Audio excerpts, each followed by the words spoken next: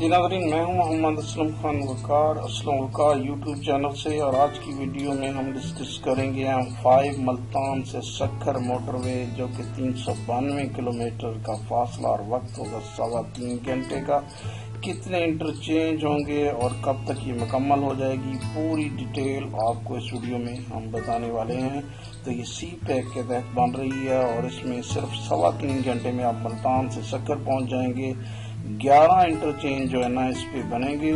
M five پہ پہلا interchange Multan پہ جو ملتان اور بہاول روڈ کو ملائے گا۔ اس کے بعد دوسرا شجاباد اور لودرا کو کنیکٹ کرے گا۔ تیسرا انٹرچینج جلال پور پیر والا اور لودرا روڈ کو۔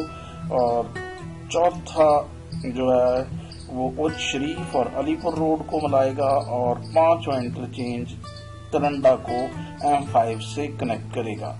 چھٹے انٹرچینج پہ ظاہر پیر اور چھاچھا شریف روڈ کنیکٹ ہوں گے اور ساتویں انٹرچینج پہ بہادر پور اور کمان بھٹا صادق آباد نیشنل ہائی وے فائیو اور آٹھویں انٹرچینج پہ گدو اور صادق آباد کشمور روڈ کنیکٹ ہوں گے اور نویں انٹرچینج پہ گھوٹکی کا شہر اور جمال الدین والی شوگر مل یونٹ تھری یہ کنیکٹ ہوں گے اور دسویں انٹرچینج پہ پنو آکل اور لوکل روڈ جو ہے یہ اور دسویں انٹرچینج پہ جناب آپ کا سکھر جائے گا۔ کام ابھی تک جاری ہے، برسوریات بنائی جا رہی ہیں، آرام کا ہوٹل اور سروس ایریا وغیرہ۔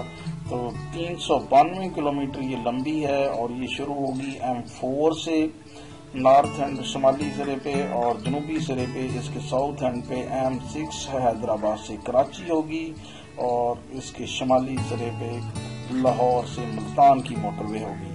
جو شہر آئیں گے، اس میں جلال پور پیر والا احمد پور ایسٹ رحیم یار خان صادق آباد، اوباڑو، پنو، آکل اور سکر اور اس پہ خرچے کی اگر بات کی جائے تو لاگت آئی ہے اس پہ تین شریعہ آٹھ نو ارب روپے اور اس کا افتتاح ہوا تھا مئی دو ہزار سولہ میں اور کام شروع ہوا تھا اس پہ اگست دو ہزار سولہ میں اس وقت کے وزیر اعظم جناب نواز شریف نے اس کا افتتاح کیا تھا اس پہ کچھ چون پل بنیں گے اور بارہ سروس ایریا ہوں گے، دس ریسٹ ایریا ہوں گے اور گیارہ انٹرچینج ایم فائیو پہ اور دس فلائی اوور بنیں گے۔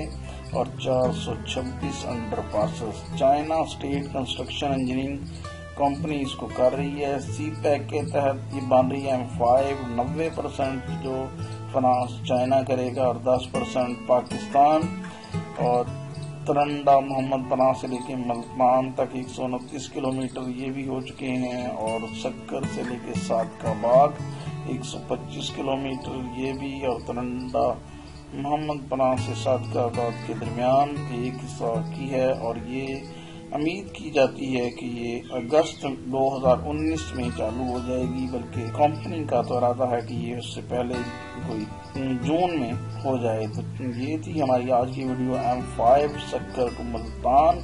یا ملتان ٹو سکر، چینل کو سبسکرائب کریں، کمنٹ کریں، شیئر کریں اور لائک کریں ویڈیو کو، تاکہ ہم آنے والی ویڈیو بہتر بنا سکیں۔